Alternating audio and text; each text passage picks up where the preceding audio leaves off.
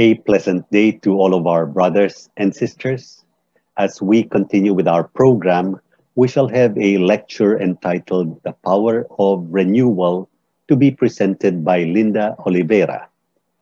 Linda served as the International Vice President of the Theosophical Society International from October 2008 until late 2011.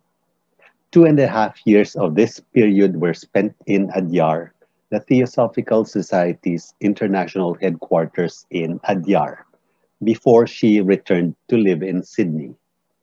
A member of the TS since 1971, Linda joined the society after hearing some talks from the philosopher J. Krishnamurti. Her tertiary degree at the Australian National University focused on humanities and political science.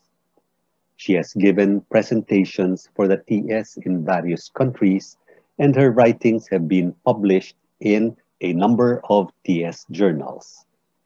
She is currently the national president of the Australian section of the Society and also the editor of Theosophy in Australia. A core inspiration in Linda's life is Theosophy, especially its potential to profoundly transform an individual when reflected upon deeply and when practiced with heart and mind. So, brothers and sisters, let us all welcome Linda Oliveira.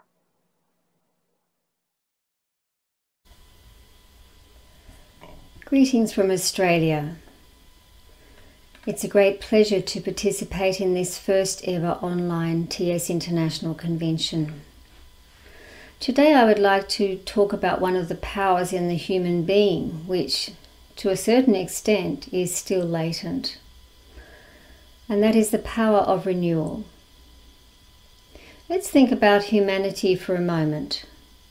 The trajectory of humanity through time has been punctuated by numerous cycles cycles of peace, war, intellectual advancement, pestilence, innovation, creativity, and so forth. Periodically, large waves of suffering have engulfed us, such as times of war or political extremism. Then there is the pandemic of this last year, which has dramatically changed lives all around the globe. Of course, periods of group suffering tend to be followed eventually by periods of peace. As well as human cycles, we witness numberless natural cycles. It is possible to learn so much from the world around us. There are vast geological cycles which are followed by periods of massive destruction, before some kind of rebirth, perhaps the emergence of a new continent. Then again, this planet has some spectacular forests which have cycled into their potential as mature wooded areas. Yet when a fire sweeps through a forest, numerous trees can be destroyed very rapidly. The charred, black remains give no visible hint of what is possible in the future, no indication of what will happen very naturally in the fullness of time. In Australia, there are many eucalyptus trees, as there are in other countries. Many of these have epicormic buds, or dormant growth buds deep beneath the bark. These are actually protected from fire, yet after fire, they are triggered into life. Some others have underground lignotubers. These are large roots from which a tree can sprout new growth. Other types of plants have dense fibrous trunks which can recover from fires, and yet others have incredibly robust seeds which can germinate either during or after a fire. The renewal of a forest is a kind of miracle after what seemed to be total destruction. So, in the case of many forest trees and other plants, something endures despite what appears to be complete death and it is this enduring factor which fans new life when the conditions are right. The possibility of continuity remains. Indeed, the potential for renewal, which is inherent in nature, is an extraordinary power. And what about the human being? We are products of nature and by correspondence also possess the power of renewal. We are familiar with the body's various functions and cycles. We know how sleep provides much needed rest so that the body is refreshed and ready for another day of physical action. We know how a period of illness requires more rest than usual in order for energy to be restored and wellness as well. We know how the cycles of age work from youth to middle age to old age. These kinds of renewal are known to us very well. However, what I would like to focus on in this talk is a very real power that we all possess to a greater or lesser degree, and that is the power for renewal within our consciousness. In the wisdom teachings, there are different ways of understanding the human constitution with its various fields of consciousness. Madame Blavatsky described us as sevenfold beings based on the Trans Himalayan school. Swami T. Subba Row favored the fourfold classification of Taraka Raja Yoga. Subsequent theosophical writers have varied the sevenfold classification to a certain extent. And so the levels or fields within the human constitution have been subjects for discussion and debate down the decades in theosophical circles. They are useful ways of understanding ourselves. I would like to simplify this further though. We can regard our consciousness as operating in two essential ways either in everyday mode, which is turned outwards towards the world, or else in inward focused mode, which tends more towards the inner worlds. Let us denote them as the external mode and the internal mode. What happens in the long trajectory of human evolution? A soul can become lost in this external everyday mode, completely immersed in physical surroundings and day to day routines. Routine may be comfortable, and it is certainly useful in certain respects. For one thing, there are physical routines such as the tasks we do every day, which are necessary for orderly living. Yet routine also poses problems. We have mental habits or routines which can be insidious. Why? For one thing, the repetition of thought patterns can render us mentally stale causing us to be literally stuck in certain mental habits and views. For example, every single time we reassert one particular view, what happens? We are reinforcing it a little more strongly. Have you ever found that? It might be a political view, or a judgment about another person, or a limited view of theosophy. In fact, it may be a position about any subject at all then that view or thought solidifies and is difficult to dispel. Repetition breeds sameness, and it closes the mind. For that matter, it can also easily lead to boredom. And when we are bored, what do we do? We look for something else to occupy our attention, some kind of distraction, and the cycle goes on. Venerable Professor Samdhong Rinpoche presented the following image, which is easy to relate to when we consider our minds. He wrote this The mind resembles a crowded street in which cars, motorcycles, bicycles, and people are moving. When we are in the crowd, we are aware only of the rush and fuss about us. But if we look down from the top floor of a tall building, we shall see how large the crowd is and how numerous the people. This rush and fuss which he mentioned helps us to understand the distracted state of the mind very well. That is because various whirlpools of energy, which are likened to traffic in this quotation, exist in our day to day consciousness.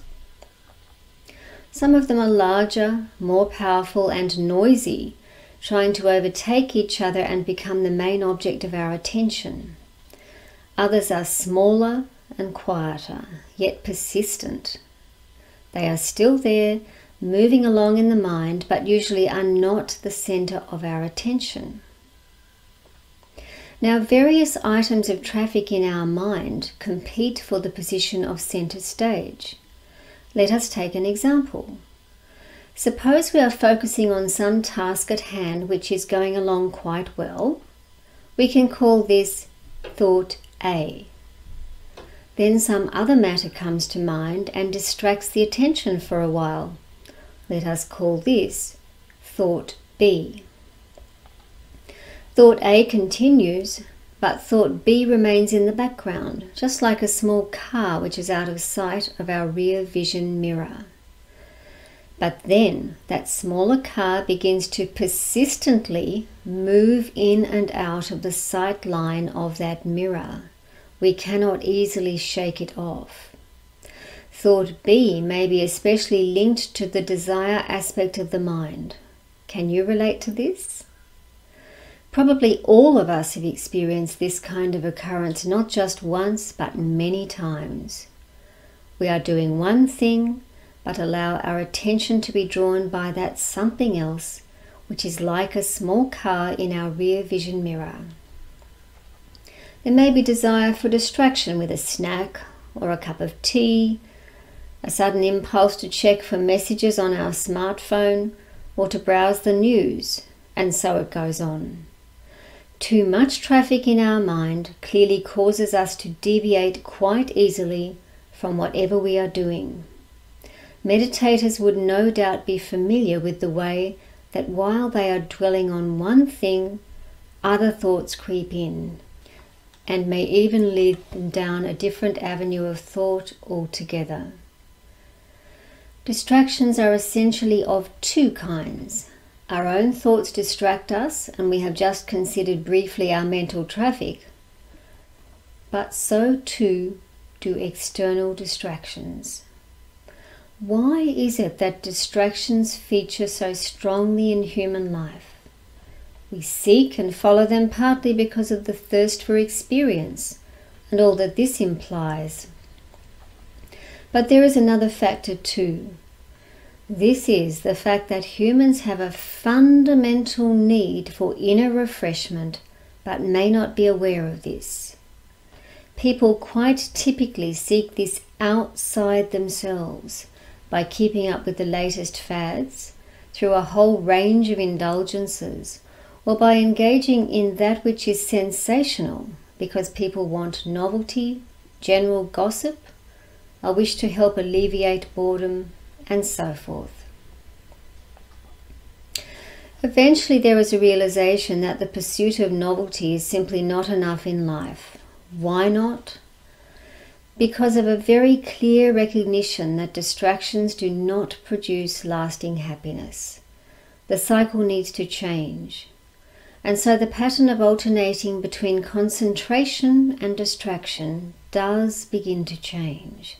There is less distraction with more focus on our inner life and giving or service.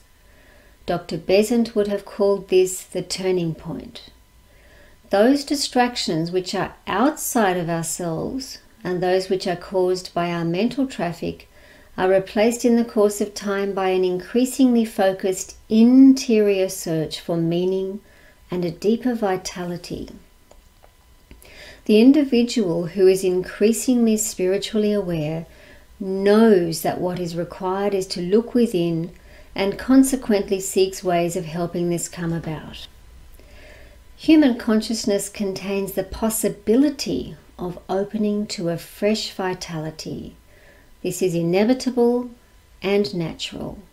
However, when the mind is unclear, repetitive, distracted, closed, lacking direction, that is, full of traffic, then such a state obviously renders renewal impossible. Now, an encounter with renewal can range from something brief to an experience which is significant and lasting. It manifests in different ways. For example, there is a certain renewal inherent in the simple act of giving. Dr. Besant talked about what she called the law of sacrifice in her little book, The Laws of the Higher Life. She described this as the life of the Spirit, which, quote, consists in giving and not in taking, in pouring itself out and not in grasping, in self surrender and not in self appropriation. The life inexhaustible, she said, is found that is ever bubbling up out of the illimitable fullness of the Self. That is Self with a capital S. This is altruism pure and simple, which HPB also equated with theosophy. Dr. Besant highlighted a somewhat surprising and important principle, which is this. When we give unreservedly unselfishly, then an interesting thing happens. There may be physical and mental tiredness, and yet at the same time, a certain energy seems to manifest in response to that kind of action, which enables one to continue giving.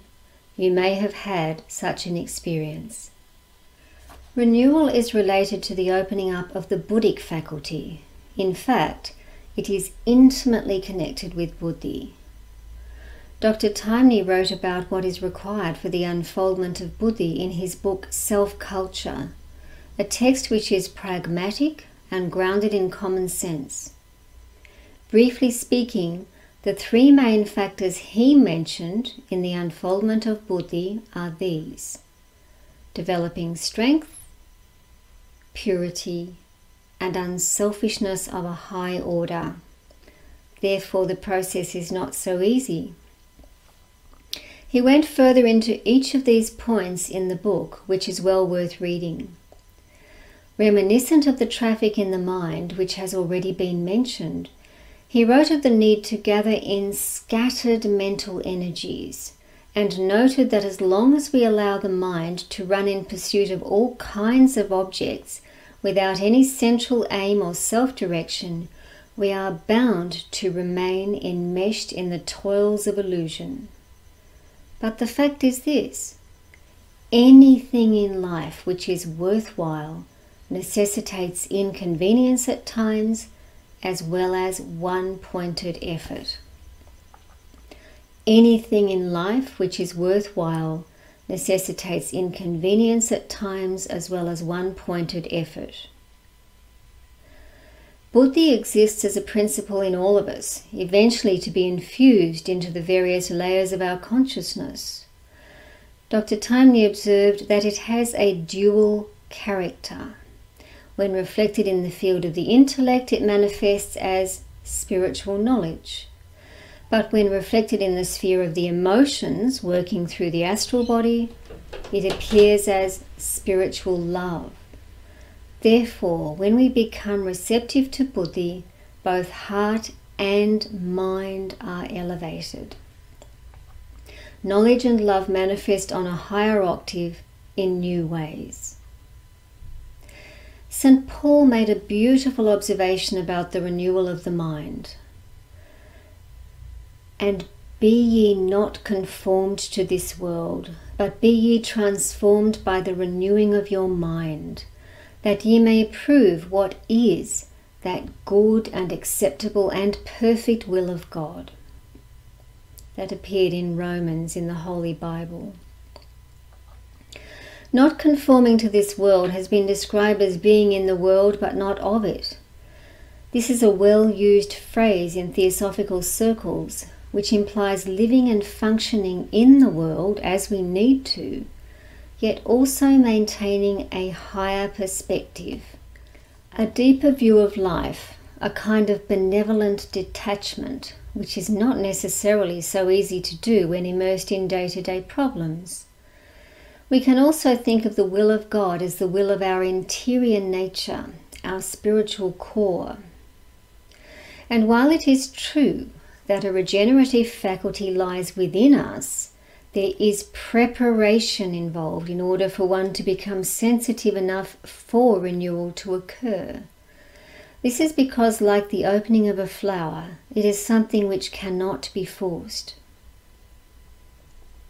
The Jataka stories from India tell how the Lord Buddha perfected his spiritual nature by living a series of lives based around unselfishness and kindness prior to becoming the Bodhisattva.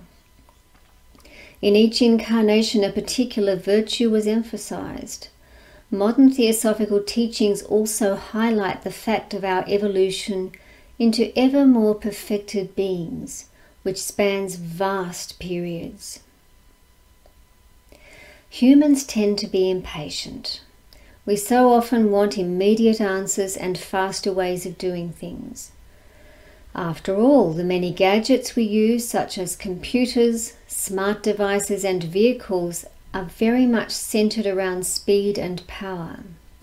But the external mode of functioning of the mind needs to allow space for that internal mode of functioning, which was mentioned earlier. This, in fact, requires the mind to observe itself, and in this process, it slows down with a greater intensity of experience. You might have noticed this. When anything is renewed, it is given a new life, a kind of rebirth.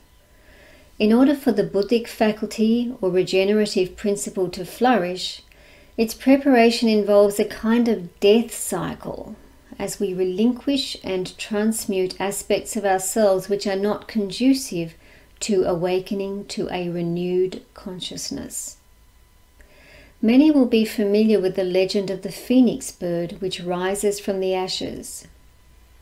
The Greek name phoenix means bright coloured. This presents in the mythologies of a number of cultures with various representations in art and literature, including Greek and Roman writers. A bird of glorious plumage, it had a peculiar mode of reproduction. The author Geoffrey Barborka described this method as follows.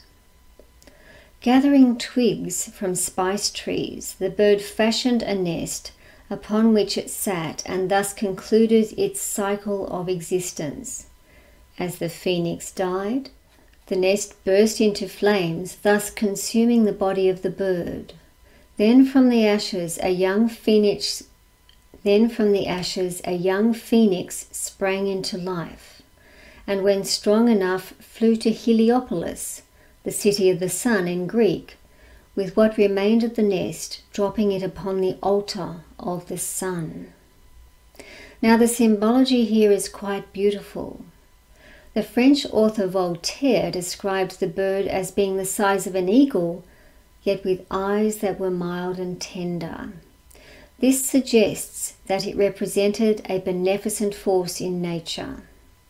It was said to live for a fabulously long time. Some believed that the phoenix lived for 500 years. For Tacitus, it was 1,461 years. Others yet again believed that the bird lived for more than 25,000 years. The existence and life cycle of such a bird may validly be subject to different symbolic interpretations. On one level, the phoenix bird has been interpreted as the human personality, which ceases after one life. From its ashes, a new personality eventually springs into being. The skandhas reignite, as it were, and the new personality is born in a subsequent incarnation. Madame Blavatsky actually viewed the phoenix as a generic symbol for seven, several different kinds of cycles. The phoenix manifests in various traditions with different names. For example, in the Secret Doctrine, we read of the Egyptian Bennu bird as synonymous with the phoenix, pointing both to human reincarnation and cosmic resurrection. A similar bird appears in the Persian tradition. HPB described the Garuda as the Indian phoenix. Chief of the feathered race or birds, the Garuda is depicted as half man and half bird, the Vahana or vehicle on which Vishnu, that is Kala or time, is said to ride. It was praised by the gods as the highest being and had a brilliant luster. The Garuda is a strong aspect of Indonesian and Thai culture too. What is particularly relevant for our purposes is the application of the symbology of the phoenix to the profound changes which an individual undergoes on the spiritual path. Successive renewals or expansions in consciousness, which have been denoted as initiations. In one interpretation of the Hindu Trimurti, the triple deity of supreme divinity, Brahma, Vishnu, and Shiva, are understood as will, wisdom, and activity. To relate this to our human cycle of existence, if we take Vishnu as wisdom, then the Garuda becomes the vehicle of wisdom. In this sense, the Garuda can be thought of as an individual in whom the Buddhic principle has awakened through which divine wisdom may be expressed. There is an inner phoenix in all of us, waiting patiently to be born not just once, but a number of times. Renewal can come in bursts, sometimes unexpectedly. For example, entering silence contains a real possibility of renewal.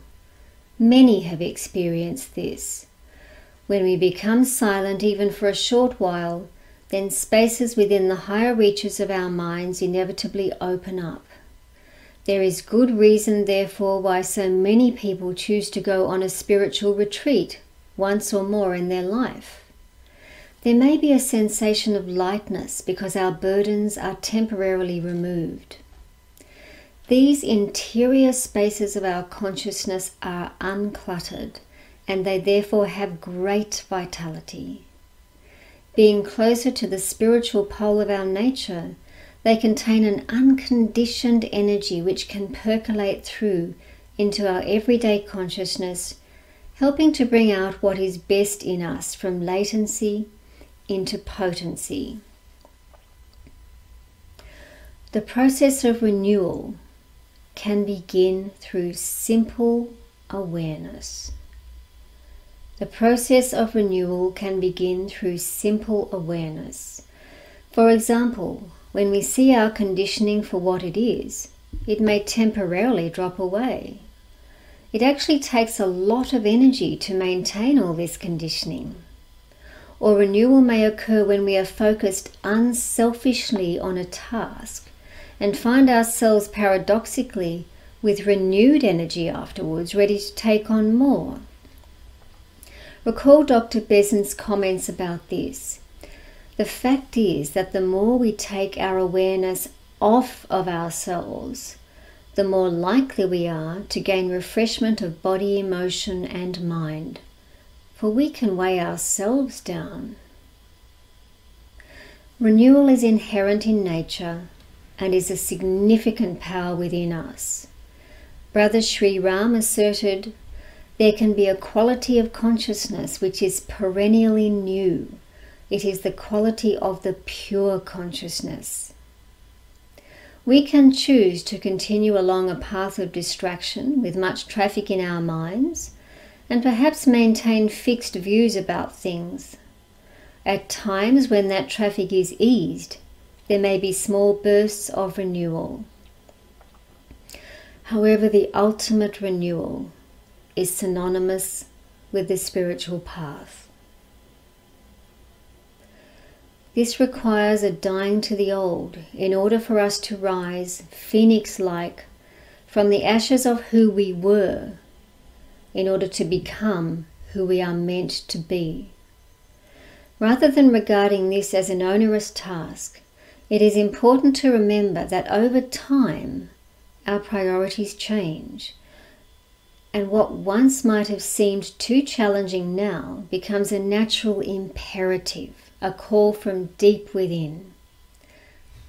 For the power of renewal has great strength and beauty, helping to reveal our true nobility and glory, that pure consciousness which we normally mask. On a global scale, the possibility of renewal may also be a silver lining in that dark cloud which is our current pandemic, providing an opportunity for humanity to recalibrate and help to constructively reshape the world in a new cycle of more profound awareness. Thank you, Linda, for that thought provoking presentation.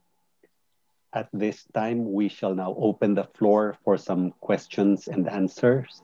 And we invite our participants to make use of the Q&A button and type in their questions. In the meantime, let me just uh, ask some of the initial questions, Linda, which have uh, come in. You spoke about Dr. Besant and her comment on the life of the spirit, which is concerned with giving rather, rather than taking. What does it mean to give of oneself in this sense? It's interesting when we think about giving and what that implies. Let's take an example from everyday life. We decide we're going to give a gift to a friend. We select that gift from among some others that are on offer, and we hope that somehow our friend will like it. Perhaps we hope the wrapping will be nice and that, that the person will respond uh, and be happy to receive the gift and perhaps also express their gratitude to us. Uh, this kind of giving is quite common. We may have mixed motives. We want to give something to a friend, but by the same token, we're hoping to receive something in return. So it's a little bit of a mixed motive. But what Dr. Besant was talking about was this kind of self surrender and not self appropriation. There was a real distinction between doing something for ourselves and kind of giving up ourselves in a way in the process of giving. So it's a different kind of giving. It's it's giving of ourselves completely from all the levels of our being. So we're not just giving something superficially and hoping that someone will say something nice or other people might come to know about the gift or something like that. So it's a different kind of thing, really. Um, it's it's pure altruism. There's there's no no wish for reward. And interestingly, uh, HPB mentioned that, that human regeneration is based on altruism. This was also mentioned in the previous session, the question and answer session, to this subject of altruism. But this, this pure altruism, this giving of ourselves wholly and completely without conditions, is um, that, that's regenerative. Uh, and it's a different kind of giving altogether from the ordinary everyday giving that we might think about in our lives. So we can give a gift to another person, for example, but but give it with perhaps mental good wishes to the person, um, some sort of thought for their well-being, uh, and and no hint of any desire for reward, and that starts to touch on the kind of um, giving that I think is really referred to here. Thank you. I recall you mentioned earlier that after serving or giving, one may be exhausted physically or mentally, but there is some kind of second wind that comes along. Yes, it's okay. quite interesting. I mean, for example, you can be very tired at the end of a day after doing something, and yet you wake up the next day, but there's there's even a more of an impulse to give. So, so something happens. There's some renewal there inside by that very act of giving. It's quite beautiful. Exactly. Okay. Let me go to uh, the next question. Your talk mentioned the mythical phoenix bird. What actually has to die if we are to rise phoenix like from the ashes? Yes, well, as mentioned, the phoenix bird can be subject to different interpretations. Um, one can regard it as symbolic of the human reincarnation story, the fact that one life comes to an end, the physical body and various uh, aspects of ourselves dissolve and then they are gathered together again in another life. So that's one way of thinking about um, what might die uh, in terms of the symbology of the phoenix. But really, if we think about a renewal in a very fundamental sense, then that um, phoenix for the human being represents really a dying to all that is old, a dying to all that is personal, a, a dying to all of those things which hold us back from being truly free and from truly giving, uh, a dying to our prejudices. Uh, a dying to irritability, a dying to impatience, uh, dying to anger, dying essentially to self centeredness, self importance, all those things that tie us very much to this earth and uh, prevent us from opening to our divine nature, uh, which, which therefore um, hampers the possibility of renewal. And of course, in um, certain traditions, the, this, this question of dying is gone into, and uh, one uh, sometimes comes across the idea that we should be able to die to every day at the end of the day. We perhaps review what we've gone through during the day and let go of things which are not going to really be very helpful in the longer term. Going to sleep and then get renewed again the next day. So, the principle of um, dying, whether it's physical dying or a kind of psychological dying to certain things, um, and then a renewal as a result of that is a very important one, echoed in many ways throughout nature. But here we're talking about a much more profound kind of dying. Okay. Here's a practical question asking why is it that the everyday mind has so much traffic? That's that's an interesting question. I did like this particular particular image of traffic in the mind because it can be like that at times, as though the mind is a, a kind of crowded road with all sorts of thoughts going along in it and competing for attention. Um, so, why does it have so much traffic? Well, I guess when you consider the, the life of a human being, we're on a journey through this sensate world. All sorts of things vie for our attention at any given time. Uh, and it can be very distracting sometimes to, to have this happening and, and uh, to um, not, not to be able to focus on what we're doing. So there were distractions around us, certainly. Uh, but I think the mind over a long series of lives, if you like, the, the whole mental faculty is something which has uh, kind of uh, grows stronger as time goes on. Um, we can become more full of knowledge. We we um, perhaps don't. Um, we're not so good at being still as we might be. So that's one reason also why we have so much traffic in the mind. It's not possible to perhaps just quietly observe and allow things to drop away. And that's why for people who have meditated for a long period of time, the, the quality and the amount of that traffic in the mind uh, really can and does diminish.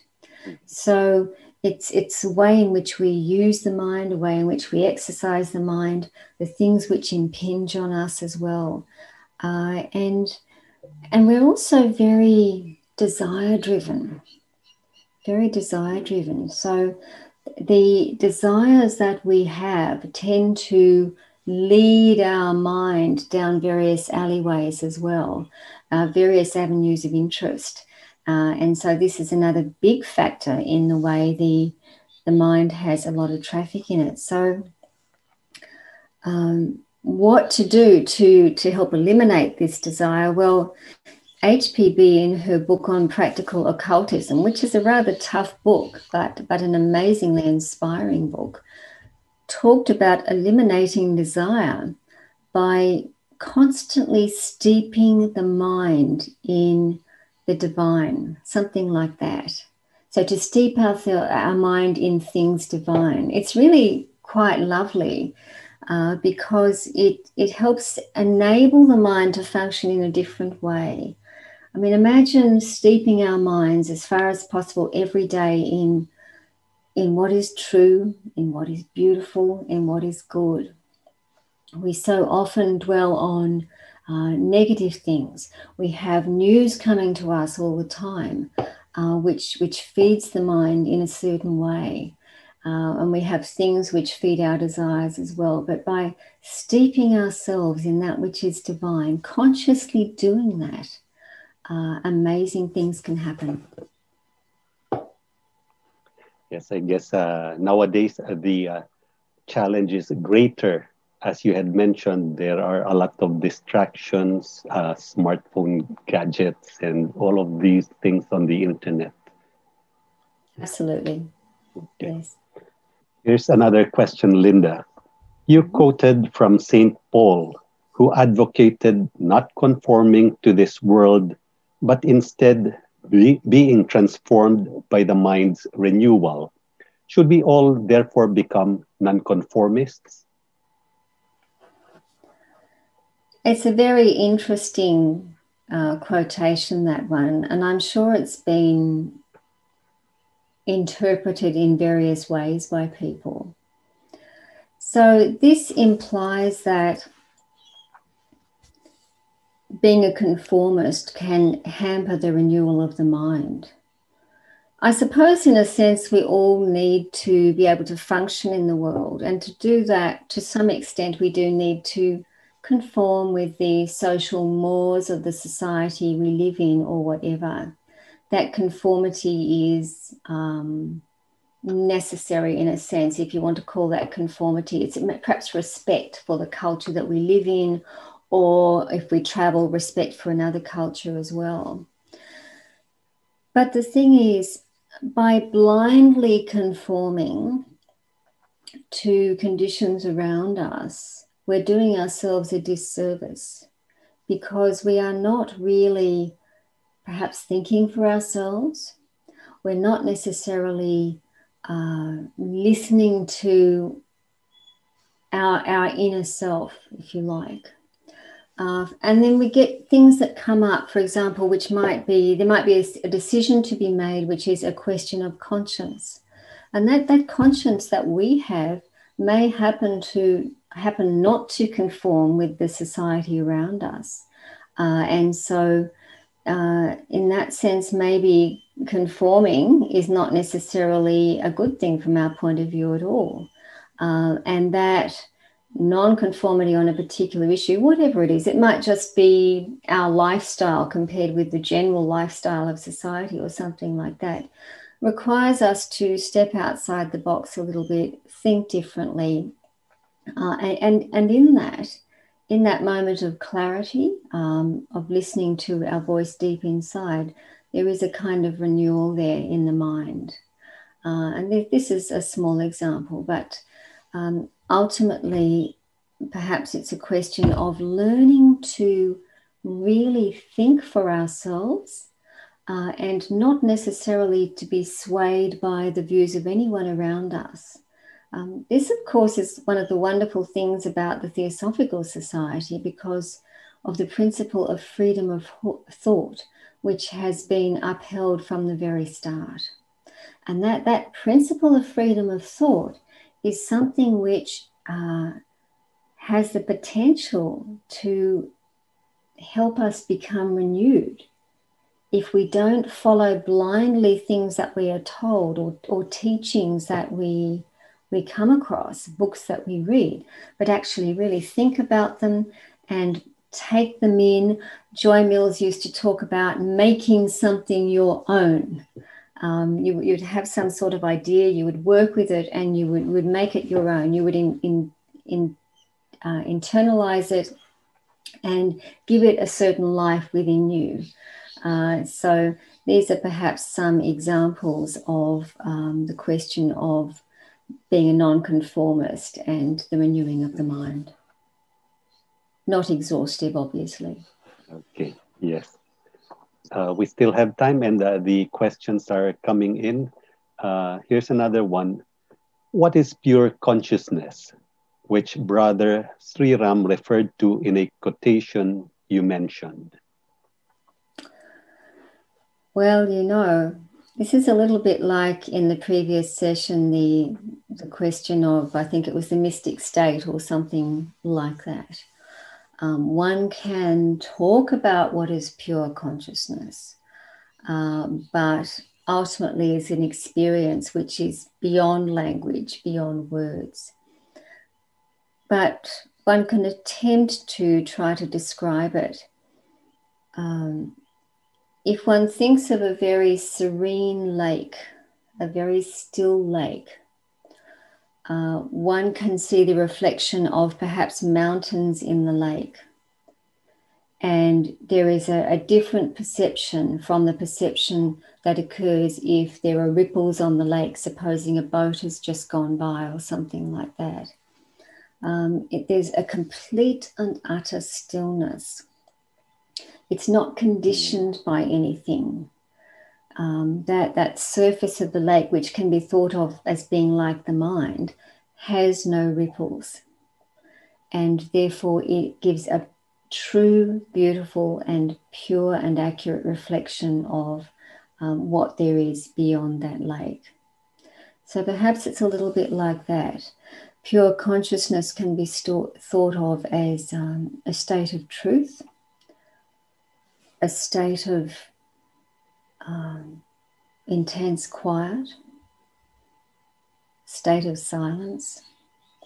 Uh, these are all words, of course, but perhaps they give some kind of idea about what, what that pure consciousness is like. it, it is untainted, it is at the base of our nature. We talk about the self being um, who we really are.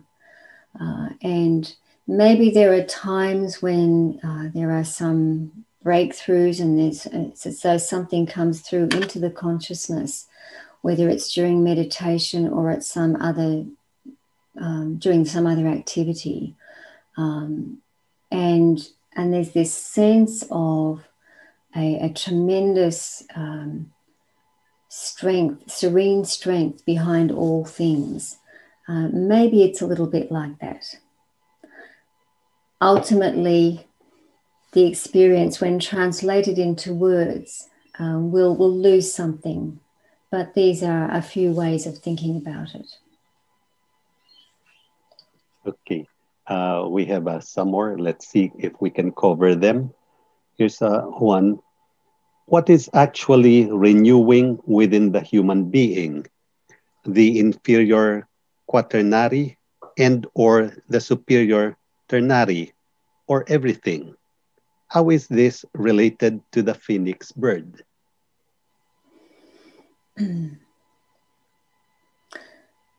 If we think about what is actually renewing, one of the, the pivotal things in the evolution of the human being is the mind. The mind, when it's turned earthwards functions in a certain way. It, it, functions in that everyday mode. When it's turned, if you like, inwards and upwards um, towards the divine, uh, steeped in things divine, to use uh, Blavatsky's term, then it is quite different again. What tends to happen with the human being is we spend a lot of time with the mind outward turned towards earthly things. And we need to do this because we have to live and function in the world. But many, many people don't give sufficient attention to the inner life. And so the mind itself is not used to its full potential. Uh, and it can become stale, it can become old because there may be a lot of uh, energy put into memories, a lot of energy put into anticipations of what might be, a lot of energy put into all those things which the desires um, uh, cause the mind to, to do. um, things that the desire, the ways in which the desires affect the mind. So I think, in a sense, what fundamentally needs to be renewed is the mind. And if the mind can be refreshed and function in a different way, uh, then then everything is changed. Everything is renewed as a result of that. Uh, but that that mind is like that pivot, um, and when that pivot is right, when we can pivot beautifully between um, attending to things in the world and turning the mind inwards when it's not otherwise engaged, um, then that is an extraordinary thing. And of course, one of the theosophical teachings is about the antakarana in the mind itself. And as one allows certain things to drop away, to die, that antakarana uh, opens up so that uh, we have a very beautiful window on, uh, on the unity of life, uh, which is also a reflection of our inner nature. Uh, in terms of the phoenix, um, you, I think part of the question was how does that relate to the phoenix? Yes. Yes. Yes. Yeah. So it, it's a question also of um, what in in the mind that needs to be renewed um, needs to die, and that was addressed a little bit in a previous question as well. So there, there are things that ultimately drop away naturally. Um, Krishnaji would have said something like, if we pay attention to something, if we see something within ourselves, we don't have to do anything that that change will come about. Um, but perhaps most of us don't actually are not willing to really look at ourselves in that way, uh, and we don't look at ourselves completely. But but things like um, anger and resentment and irritability and things like that, um, excessive preoccupation with um, things of a material nature, these sorts of things give way to a life which is lived with a concern for the other more and more, uh, with a real understanding for the unity of life, uh, to greater compassion and wisdom, things like that. Okay. Uh, we have uh, another one here. You have talked about mental patterns and habits. What can we do? Uh, presumably, that refers to what can we do to try to break out of those mental yes. patterns and habits. Mm-hmm. Yeah. In the first instance, we need to really learn to look at ourselves and look at our minds, watch our minds. To actually spend five minutes watching the mind is very educative and quite illuminating. And you can see sometimes that there are these um, things that we come back to again and again and again that we need to break out of. Now, obviously, if you are an individual who has a, a serious mental problem, then my first advice would be seek professional help. But um, otherwise, for someone who is really concerned about uh, living a more spiritual life and becoming more open and more flexible, maybe we can start a little bit each day by just trying to uh, observing certain mental patterns and decide well today i'm going to try and do something about this uh, I always think a negative thought, well, I regularly think a negative thought about such and such a person. And to become aware of this uh, and then determine that whenever such a thought arises, I am going to replace it with something which has the opposite quality. Send that individual um, a, a thought of love or strength or something like that. I believe implicitly in the power of thought. We can do a great deal in this way. We can't easily necessarily stop ourselves from thinking negative thoughts, but if we become aware of them, we can actually consciously replace them with something else which helps to counteract them. It, it neutralizes them, and we become a better person as a result of that. Um, a member of the TS many years ago spoke about uh, the idea of selecting for ourselves some sort of a symbol that represents the highest in us. Not something necessarily highly emotive because that's going to not work so well, but to think about um, if something negative comes up in our mind, for example, to bring that symbol up in our consciousness. And it's very, very interesting how that can sometimes immediately dissipate some kind of mental habit that we um, are not very happy about in ourselves. So there are a few thoughts. Okay.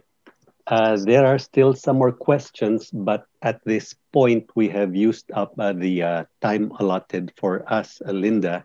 So we'll have to uh, conclude this session. We thank Linda for her presentation as well as taking in uh, these questions uh, that she has answered recently.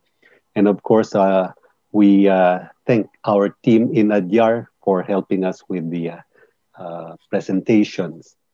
At, in about five minutes after we conclude, we will hand over the presentations of various Theosophical Order of Service sections in Asia. So with that, we thank Linda we thank our participants for uh, their kind attention. I am Chally Romero here in the Philippines, wishing everyone a pleasant day. Thank you. Thank you.